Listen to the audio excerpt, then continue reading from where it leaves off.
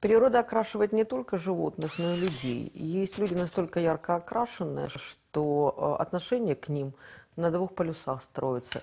Их либо а, до боли ненавидят, либо до боли любят. Сегодня у нас в гостях Татьяна Монтян. Татьяна Монтян, адвокат, общественный деятель. Она адвокат-тяжеловес. 20 лет юриспруденции. Ее муж, судья Юрий Василенко, в 2002 возбудил несколько уголовных дел против Леонида Кучмы. Популярный блогер, общественный деятель. Уверенно движется в большую политику. Сегодня ее команда «Спильна Дия» баллотируется в Киевсовет. Она выступает за открытие всех реестров собственности, не жалеет патронов на конкурентов, любит обсценную лексику. Переводчица. Перевела фундаментальную работу американского политолога, лауреата Нобелевской премии Элеонор Остром, управляя общим. С юности занимается дзюдо. Татьяна Монтян в гостях у Натальи Влащенко. Здравствуй, Таня. Привет. Ну, я, я надеюсь, ты, ты знаешь отношение к себе и знаешь, что есть люди, которые являются твоими очень яркими сторонниками, яркими противниками. И а, я знаю тебя как человек, уже не первый год, который вообще никогда не сдается. И когда я прочитала в твоем фейсбуке, что ты решила сняться с морских выборов, я очень удивилась. Думаю, ну, как будто не хуже. Этот человек будет отбиваться до конца. Тут раз сама и снялась. Да Почему? ладно. Да все очень просто, потому что, собственно, шансов никаких нету, потому что и так понятно, что город поляризован, и выбор будет между Кличко или между Бондаренко. А все остальные сыграют на подтанцовке. Мне нет никакого резона это делать, потому что я и так возглавляю избирательный список в Киевраду, своей партии Спильна Дия и вдобавок буду баллотироваться на 11-м мажоритарном округе. Это можно делать одновременно. А вот одновременно баллотироваться на мэра и баллотироваться в мажоритарном округе нельзя. Это правильная задумка законодателя, потому что а вдруг человек выиграет и там, и там, значит, придется снова проводить перевыборы на округе. Поэтому законодатель запретил баллотироваться и в мэры, и по мажоритарному Я округу. так понимаю, что задачи оставляете за собой те же. А, Полный аудит коммунального имущества. Безусловно. То есть моя Да. мэрская Мгм. программа является одновременно и программой нашей команды на Мгм. Киевраду. Разницы, собственно говоря, никакой. И я хочу сказать, что у мэра даже меньше полномочий, чем у пересечного среднестатистического депутата той же самой Киеврады. Тань, а, но э, ты говоришь, что шансы есть либо у Кличко, либо у Бондаренко. Как я понимаю, теоретически ты не представляешь своей деятельности ни с тем, ни с другим. Нет, конечно. А как ты э, все вот э, планируешь выполнять те задачи, которые, э, так сказать, ты заявляла, с, э, с людьми, с которыми, как с которых ты не представляешь как соратник? Ну, смотри, товарищи, обе команды и бьют, и удар идут деребани. Чем они, собственно говоря, успешно занимались все предыдущие каденции, то есть они никогда не были замечены ни в чем другом. Если они так хотят блага родному городу, что им мешало открыть доступную им информацию об имуществе территориальной общины, что мешало им сделать аудит коммунальных предприятий, разумеется, ничего, кроме того, что там они сами, собственно, и деребанят. Но я всегда умею играть на противоречиях. То есть откуда у меня появляется информация? Кто-то из них кого-то кинул в каких-то между Они все любят друг друга закладывать Да, они все друг друга любят закладывать. Прибежали одни, Таня, мы хотим тебе стукануть наших врагов. Я связываюсь с врагами, ребята. А они обозвали вас земляным червяком и рябой лягушкой. Ах, они такие сволочи, а мы тоже обзовем их ответ. Вот так вот примерно мы и работаем. Но самое главное, что мы-то будем делать свое. Мы будем по максимуму делать то, до чего получим доступ. И я думаю, что за полтора года наша команда, пройдя в Киевраду, покажет концептуально иное отношение и к депутатской работе, и к собственности территориальной общины, и ко всем другим вопросам. Мы будем депутатами нового типа. Вот что касается э, возможности э, работы, в, э, дать гипотетическое в будущее Киевраде. Знаешь, а я надеюсь, ты не обидишься, но ты мне всегда почему-то ассоциировалась с одной известной песней Высоцкого а, «Безумолку безумная девица кричала, Ну. вижу трое упавших в прах».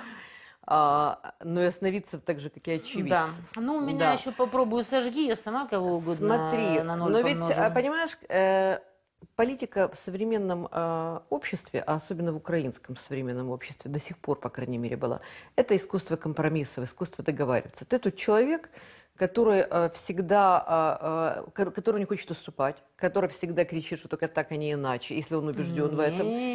И который, ну, мне кажется, что у тебя договорные, э, договорной порог все-таки понижен. Нет, правда. Это категорически То есть ты неправда. идти на компромиссы? На самом деле я договариваюсь с кем угодно, кроме особо невменяемых. Я не всегда афиширую эти договоренности, но вот все знают, что я человек как раз-таки самый, что ни на есть договороспособный. Я всегда держу свое слово, со мной всегда можно иметь дело. И если какой-то там компромисс не противоречит моим убеждениям или вред от такой договоренности меньше, чем польза, ну, как пиво по утрам, не только вредно, но и полезно, я всегда иду на договоренность. Кроме того, я не имею личного интереса, и поэтому со мной всегда можно договориться о любых общественно полезных начинаниях. А, смотри, твоя поддержка Цушко, а, ну, она понятна, потому что вы много лет там соратники, вы много лет а, сотрудничаете там где-то можно сотрудничать, и много, и много полезного сделали, насколько я знаю, о чем как бы не знает широкая общественность. Но... Скоро узнает, ничего да. страшного, уже он выходит в эфиры после четырехлетнего молчания Скажи все мне, пожалуйста, если, если не удастся в Кевраде, я так понимаю, что и для тебя понятно, что Сушко президентом не станет. Ну, как бы тут тоже поляризация, да. то есть или Петя, или Юля, и даже те, кто пламенно ненавидят Петю, Юлю ненавидят еще больше и готовы подписаться за Петю. С мыслью, а потом мы с ним разберемся. И проблема в том, что не успеет он снять руку с Пересопницкого Евангелия, как ему в спину воткнут 100-500 ножей. И он к этому, я надеюсь, готов. А, если, э, э, может ли это быть, э, так сказать, мысль о подготовке к выборам в Верховную Раду, ну, если не получится и то, и то, и это? Ну, понятно, что абсолютное, больш... абсолютное большинство людей, которые баллотируются сейчас, делают это с прицелом на то, что президент, будучи избранным, немедленно разгонит Верховную Раду и будут перевыборы. Но это и так понятно, потому что Рада откровенно недееспособна. Ты автор мимо «Кровавая секта Бьют». Да. Я хочу тебя спросить, а на полном ли серьезе ты считаешь, Абсолютно. что все остальные партии не являются кровавыми сектами? Потому что ведь а, вот, и там, и там вообще во всех партиях, о которых мы сейчас можем говорить в Украине, абсолютно полный набор, так сказать, джентльменский, своих олигархов, своих романтических героев, своих кровавых злодеев, да, да, своих да. барыг своих там и так далее, и так далее. Но количество кровавых злодеев именно в секте бьют просто зашкаливает. Это Больше, не, чем партии ну, регионов? Конечно! Убогая группировка «Люкс» Аргум... Аргумент. Рассказываю. Да. Убогая группировка «Люкс» прекратила существовать с того момента, когда разнесло на куски взрывом Алика Грека. Он был последним бойцом группировки «Люкс». Угу. Те, кто отжал у него группировку, на самом деле Чьи жалкие... это кто? Это Ренат Леонидович? Это Ренат Леонидович, еще более-менее там можно его считать кровавым злодеем. Там, этот Янык, который оказался трусливым убожеством, хотя столько времени там группировка Люкс пугала страну, а по факту оказалась просто набором ничтожеств, ни на что абсолютно не способных. То есть имидж группировки Люкс – создавали такие люди, как Немсадзе, Грек и все такие прочие. Но хитростью и подлостью и взрывом на стадионе у них эта группировка была отжата, имидж тянулся, но Люди, отжавшие группировку «Люкс», оказались вовсе не такими кровавыми злодеями, как они все думали. Это оказались потому, просто они набором ничто. Да, они оказались просто подлыми слабаками, трусами и просто убожествами, как на это и увидела вся страна после того, как удрал их главный гений Яленко. А я по ходу дела задам вопрос, раз мы сейчас об этом заговорили, хотя хотела позже задать его. Вот то, что Ахметов себя повел таким образом э, сейчас на Юго-Востоке, там, где вот это все происходит, все говорят, что это потому, что он э, там от интереса бизнеса, вот это он там торгуется, то все. Он торгуется. А, а это не потому, что он просто, э, как ты говоришь, является просто слабаком и э, э, вот Я думаю, словом. что он торгуется. Да? И он уязвим. А что он наторговывает себе там? Ну, я не знаю, что он там По торгует. мере того, как все разваливается, мне кажется, у него Вот. шансы получить так это, это все меньше и проблема меньше. не только Ахметова, это Конечно. проблема всех наших олигархов. А почему они оказались такими ничтожествами? Рассказываю. Все очень просто. Они понимают в институциях примерно столько же, сколько и простые пересечные. То есть, когда я валала криком, люди, какие бы ни были ваши светлые намерения на Майдане, вы просто убиваете в ноль, рушите в пыль те остатки институций государственных, которые были унаследованы незалежной Украиной от Советского Союза. Но люди меня не понимали. Они думали, что, это, что институции – это логистика по нарезке бутербродов и подвозке шин. Ну, простите, с такой ерундой дикари с племенем Мумба-Юмба справятся гораздо успешнее, чем э, наши товарищи на Майдане. Так вот, как правильно говорил один э, выдающийся венгерский деятель, сам по себе ты ничто. Вся твоя ценность лишь в том, что ты сделал для своего народа. А наши замечательные олигархи все, что делали, это грабили этот народ и думали, что будут это делать вечно. А тут развалились институции. И за ними ничего не стоит. Никакая мощная страна, которая могла бы за них вписаться и заступиться. Ну и да, что мы отк- видим? Открылась дверь, там Да, до нашей и что мы нет видим? больше. Да. Убогого Фирташа, сколько бы у него не было денег, его как последнего бомжару в Австрии закрыли, забрали у него 125 миллионов евро залога. Да, это была Еще и глянули история. ему между, извините, задницы и посмотрели, не украл ли он эти деньги. Еще и посадят лет на 50, и ничего его не спасет. Что мы видим дальше? Коломойский вынужден сражаться за Украину, потому что когда он объявил Путина шизофреником, скорее всего, у него уже не было путей для отступления назад, у него отжали уже или попытались отжать все, что только могли. То есть он прошел точку невозврата. Теперь поэтому он вынужден хоть как-то рубиться за Украину, на самом деле рубясь за свои активы. Ахметов, ты такой богатый, а чего ты стоишь без страны Украина, которую вы развалили сперва на Майдане, а потом довалили на Востоке. Я не делаю никакой разницы между теми зомби, которые прыгали на Майдане из лучших побуждений, и теми зомби, которые прыгают на Востоке из таких же лучших побуждений. Они все доваливают институции в стране. А создать институции с нуля украинцы не способны, потому что нету механизмов, потому что украинцы это атомарные сущности, которые никогда не умели договариваться между собой как равные. Не по принципу «я начальник, ты дурак» и наоборот, а мы с тобой соседи, мы с тобой равные, давай договоримся и придем к консенсусу. У нас главное правило – победитель получает все. Тань, и ну, что? А ну- теперь никто никого не может победить. Ни Восток-Запад, ни Запад-Восток. Тань, я тебе Остается хочу- договариваться, я, а мы я не тебе умеем. хочу задать вопрос. Но если ты говоришь, что украинцы это томарные сущности, Да. которые никогда между собой Да. не договорятся. Их никто не и учил которые- это делать. И которые, зачем же ты тогда идешь в политику? Значит, ну А скажи, я учу ну скажи, людей это делать. Вот так скажи, Научу. так скажи людям о том, что все-таки ты их любишь, и ты Конечно, идешь люблю. ради них. Конечно, Потому люблю, что а как же? есть же одна проблема, когда ты пишешь, что они все идиоты, атомарные сущности и так Ой. далее. Они же думают, что ты их не уважаешь, Нет, ненавидишь и прочее, чушь. прочее. Значит, муж мне рассказал одну очень Ну, интересную есть, же историю. такая, есть Смотри, такая тема. Ты знаешь, сколько людей десятки пишут в? Я Знаю. бы за нее голосовала. Знаю, Но раз знаю. она такая, а раз напишет смотри, такие. я тебе рассказываю Ну историю. надо же объяснить, почему. Наташ, слушай, муж мне рассказал баечку. Вот представь картину. Заходишь ты в больницу и видишь врача, который ногами избивает бабку.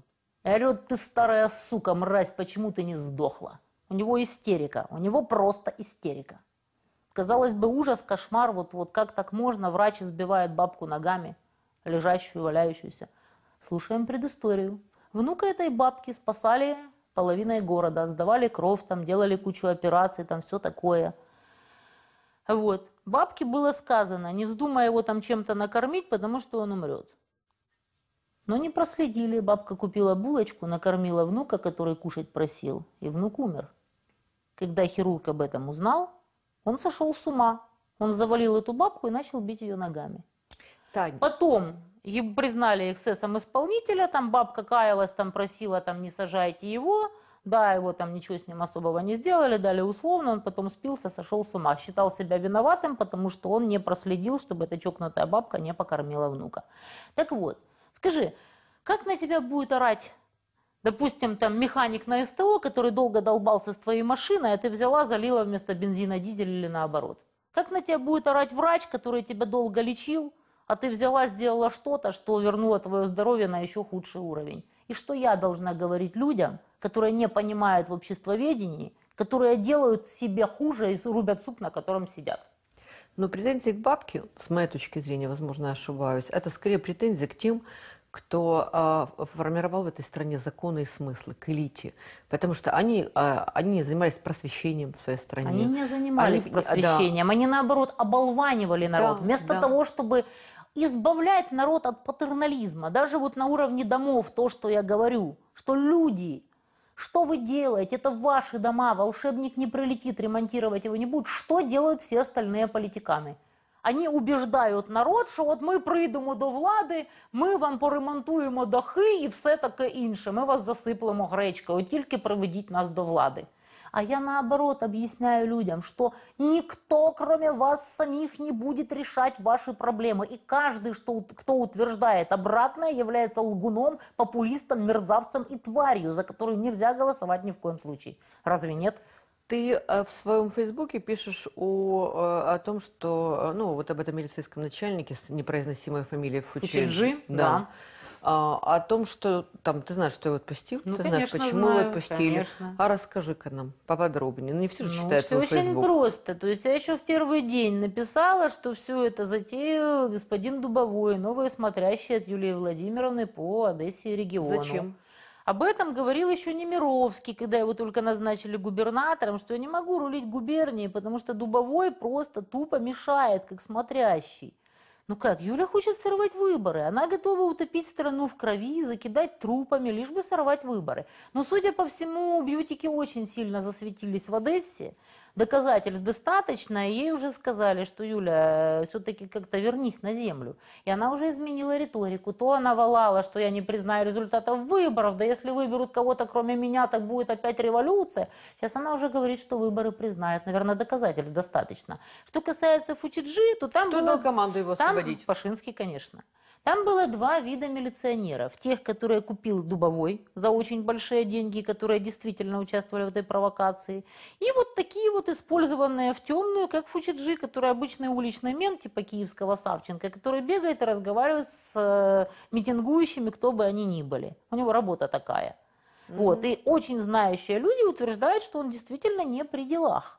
Mm-hmm. А он им сказал, что, ребята, если со мной что-то случится, то появится видео в интернете, которое изобличает вас всех по самые помидоры. Понятное дело, что его отпустили, я надеюсь, он благополучно куда-то удрал. И пересидит все это смутное время подальше от кровавой секты бьют.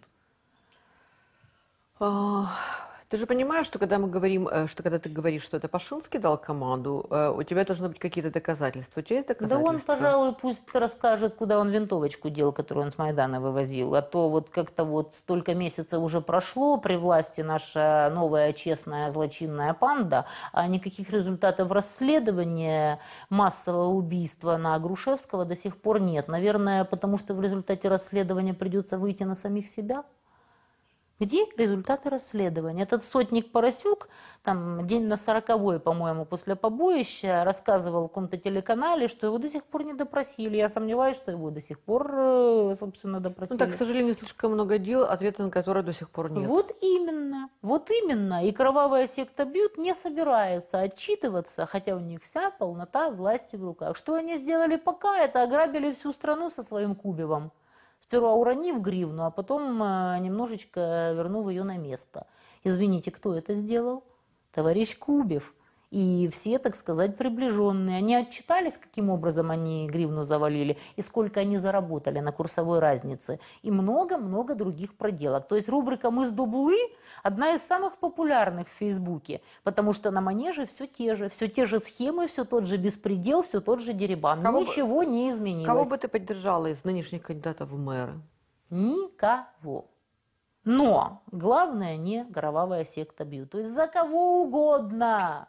Хотите, голосуйте за Кличко, если считаете, что вот эта пара, там никто не пройдет. За кого угодно, только не за Бондаренко. Что он вытворил, став главой КМДА? Полностью переключил на себя все финансовые потоки коммунальных предприятий. То есть то, что раньше грабили регионалы, теперь грабят секта бьют. Он что, сделал что-то полезное для города? Он открыл доступную ему информацию об имущественных правах киевлян? Он открыл бухгалтерию коммунальных предприемств? Ага, сейчас. Так что ж ты, милый, сделаешь, когда ты станешь мэром? Что тебе мешает сделать это сейчас? Тань, ты на прошлых выборах ходила с охраной. Да. А сейчас? Сейчас хожу. Кровавая секта бьют не дремлет, а я не собираюсь А, дешево а были продавать какие-то свою были жизнь. какие-то ну, конкретные Ну а а, как же? факты для того, чтобы бояться? Ну да? а, А что как именно? же? Ну, ну, я, по-моему, единственная, кто открыто, прямо и последовательно обвиняет их в том, что они шайка убийц и мародеров. Их и Сволоту. Э, Ты пойдешь голосовать на президентских выборах? Ну а как же? За кого будешь За Сушко, конечно. Мгм. А, ну да. Но Вы- там большая очень задаете. проблема, потому что у абсолютного большинства членов ЦВК полномочия заканчиваются между первым и вторым туром. Это еще один фактор, благодаря которому Юра планирует срывать выборы. Посмотрим, как удастся выкрутиться из этой ситуации. Поэтому не исключено, что я-то, конечно, проголосую за Сушко, но большинство народа все-таки попытаются избрать Петю в первом туре, чтобы вот избегнуть этой ситуации. Кто, кроме Сушко, э, Сушко из политиков, э, ну, old school, то, что называется, тебе кажется а, человеком адекватным, с которым можно идти в будущее? Никто. Я знакома с ними всеми. Никто, кроме Сушко, никакого доверия, собственно, не заслуживает. И ничего полезного для страны никогда не делал. Вот меня все говорят, как ты его можешь поддерживать? Я говорю, ребята, а попробуйте вы посидеть много лет на мощнейших финансовых потоках, которые могли бы сделать вас миллиардерами и ничего не украсть. Ты знакома с э, большинством э, абсолютным э, активистов городских, молодых ребят, Да. ну или относительно Да. молодых. А у тебя есть какое-то свое мнение вот о К них? сожалению, большинство из них категорически не хочет учить матчасть. Потому что это долго, трудно. Вот они все, вот мы придем ко власти, мы что-то сделаем. А у вас, простите, навыки есть? Вы хотя бы элементарные вещи знаете о кишках? Городское вообще хозяйство. Вы знаете, как это все управляется? Вы дали себе труд хоть что-то изучить? Очень мало тех, кто действительно хочет разбираться. Большинство хочет, вот мы придем, мы все сделаем. Ну, это вот типичная там майдановская, антимайдановская риторика. Весь мир насилием мы разрушим. До основания. А что вы затем-то будете делать? У вас есть навыки, вы умеете, вы знаете, вы когда-то пробовали, вы чего-нибудь в своей жизни сделали, не обладая властно-распорядительными полномочиями. Покажите, что. Вот те, кто действительно что-то может делать, даже не имея власти, они обычно охотно учат матчасть.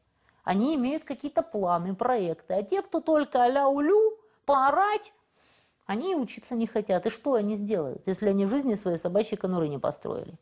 А, а, а тебе же мало что известно. Я знаю, что в Фейсбуке ты показываешь периодически сыновей, которых ты называешь ласково монстрами, Да. и котиков. Кстати, любовь Да, котика меня вообще да. убила. Пр- Представить себе, что ты так- такой человек, как ты, может любить котика, может быть сентиментальным, меня вообще как бы... А я вообще люблю животных. И котиков, и собак. У нас же не только котик, у нас и овчарка, которые дружат между собой прекрасно, и небо на землю не А кто падает. занимается хозяйством, Таня? Фу, готовлю я. 15 порций в день как минимум, потому что мужики мои готовят или совсем плохо, или вообще не умеют. А все Ну, остальное бы делает муж 17 лет и строит сыновей. готовить. Не, ну Яра более-менее еще из э, всех вот четверых, а все остальные вот никак. А вообще муж их строит, гоняет. Если вообще не поддержка мужа, я бы, конечно, не смогла заниматься никакой политической деятельностью. Он говорит, Ну, давай, дорогая, иди вперед, так и быть, посижу дома, позанимаюсь хозяйством и детьми. О вашей паре я уже когда-то говорила об этом. Ходит очень много всяких сплетен. Он намного старше, он там то, он все. ну, на самом деле, как бы у вас достаточно благополучная семья. Она скроена по принципу все-таки. Вот извини за бестактный вопрос. Мужчина и женщина, или она скроена по принципу э, там Елена Боннер, Андрей Дмитриевич Сахаров? Ой, я вас умоляю. соратничество, там, я дружба вас и так умоляю. далее. Мы можем расходиться в миллионе разных вопросов, но это вовсе не означает, что мы будем на эту тему ругаться. У нас четверо детей. Мы всегда вот э, смеялись, кто там, а, у вас там фиктивный брак. Я говорю, конечно, четверо детей для Эффективные отмазки. монстры. Да, эффективные дети. Ну а как же? Поэтому я всю эту чушь не слушаю, а те, которые предрекали, что мы быстро разведемся 20 лет назад, сами уже пять раз поразводились, а мы ничего живем. Поэтому я вообще всегда народу рекомендую интересоваться собственной половой жизнью, оно вот как-то вот интереснее. Я вот что-то вот чужой не интересуюсь, меня своя устраивает. А ты думал, а ты, а ты думал, вот такая же? Или ты думал, вдруг, знаешь, есть же женщины, которые, переступая порог дома, становятся там очень, ну, просто такими пластилинами, мягкими, добрыми. Или ты вот, вот, вот везде одинаково? Ну, наедине с каждым из детей, я вот могу даже вот утешить, там, сопельки, слезки вытереть, там, ну, когда вот наедине приходят и плачутся. У меня мальчики приучены к тому, что плакать на людях мальчикам не гоже. Но вот поплакаться маме наедине, это вполне допустимо. Поэтому вот, когда приходят плачутся наедине, я, конечно, нежная, добрая и ласковая. А сама ты часто плачешь? Даже я не припомню. Правда? Да как-то нет особых А, причин. а ч- а, ну, хорошо, но, е- но есть же как бы моменты, у каждого человека есть моменты а, ну, какого-то тотального одиночества, ощущение, что ты один в жизни, что ты, у тебя ничего не Как получается. говорит моя что ты сестра, ничтожество, что ты там еще что-то как говорит Нет? моя сестра, одиночество – это не когда тебя не понимают, а когда тебя некому забрать из морга. Ну, слава, слава богу, тебе это не грозит. Нет. Вот, да. Но то есть, отчаяния не бывает, как бы, Ну, да? я вообще очень морально устойчивый человек Мгм. с очень крепкой психикой. Вот мой муж всегда говорит, что как ты, будучи самым хладнокровным человеком на свете, умудряешься иметь в соцсетях репутацию истерички? Я говорю, уметь надо, дорогой. А у тебя есть подруги, Да, очень много. правда? Да.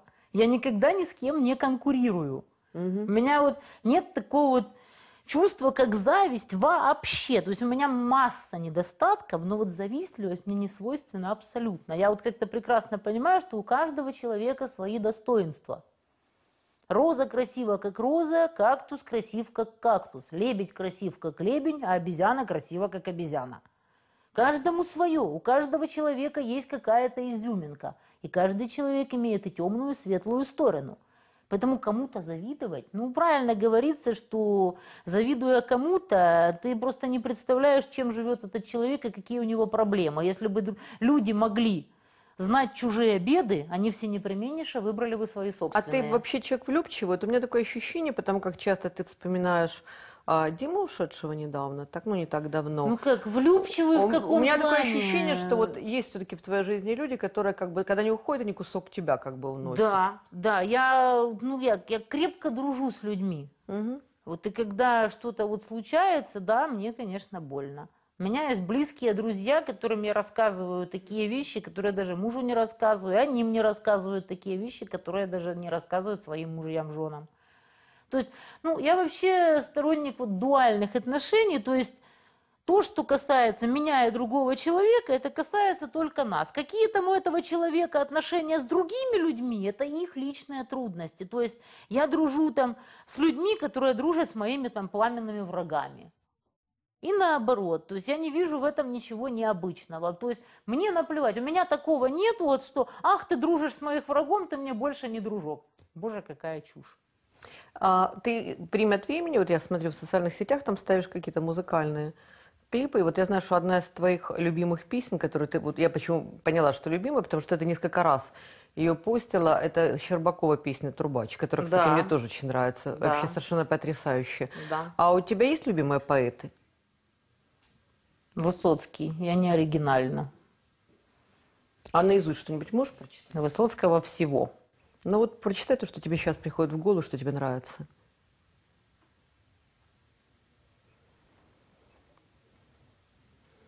Не готова? оплывших печи- Среди оплывших свечей и вечерних молитв, Среди военных трофеев и мирных костров Жили книжные дети, не знавшие битв, Изнывая от мелких своих катастроф. Да, это замечательная песня, по-моему, из Робин Баллада Гуда. о борьбе. Баллада о борьбе. Ну, что еще могла процитировать нам Таня Монтян? Ну, что угодно на самом деле. Я хочу сказать, что эм, Кто не верил в дурные пророчества, в снег не лег ни на миг отдохнуть, тем наградою за одиночество Одиночество. должен встретиться кто-нибудь. А, Я хочу сказать, что есть люди, которые, несмотря на то, какое они жесткое производят впечатление, на самом деле это очень книжные люди, и это и есть настоящие романтики, идеалисты. Мне кажется, а, Татьяна Монтян одна из таких людей. Вот э, тот самый человек, который очень книжный человек, но который, к сожалению, же в той жизни, когда она знает битвы, еще и как знает. Но я тебе желаю победить. Спасибо, Спасибо. большое.